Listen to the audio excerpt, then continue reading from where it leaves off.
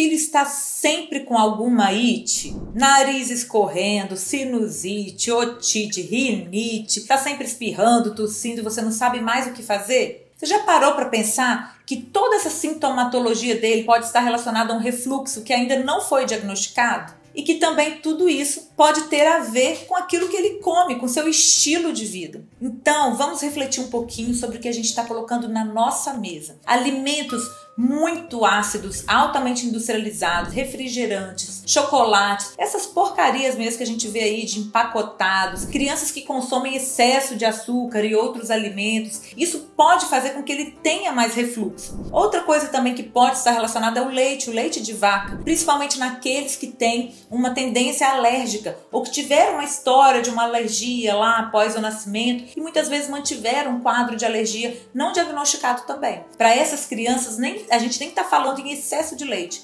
mas muitas vezes uma quantidade mínima já pode ser suficiente para que ele tenha todos esses sintomas. Então eu vou te dar algumas dicas para melhorar a qualidade de vida do seu filho e da sua família. Primeira coisa, comida de verdade. Vamos tirar os industrializados. Vamos fazer aí uma faxina na casa, a família toda junto. Vamos tirar os conservantes, os corantes, vamos evitar os líquidos antes de dormir. Atente para poder colocar o seu filho para antes de jantar, 40 minutos antes já tomar água, tomar os líquidos, jantar e minimizar a quantidade de água que ele vai precisar antes de dormir. E também, se for o caso, elevar a cabeceira pode ajudar muito. O que eu quero deixar aqui como mensagem final é: se o seu filho está constantemente inflamado com alguma it, não desista. A gente não pode se conformar em passar anos e anos usando antibióticos quando muitas vezes embora eles possam sim ser necessários em alguns momentos, mas quando muitas vezes o estilo de vida é que está prejudicando isso. Então a gente precisa, como profissional, mas também como mãe e pai, ir lá na raiz do problema para que os nossos filhos tenham mais saúde e qualidade de vida. Gostou desse vídeo?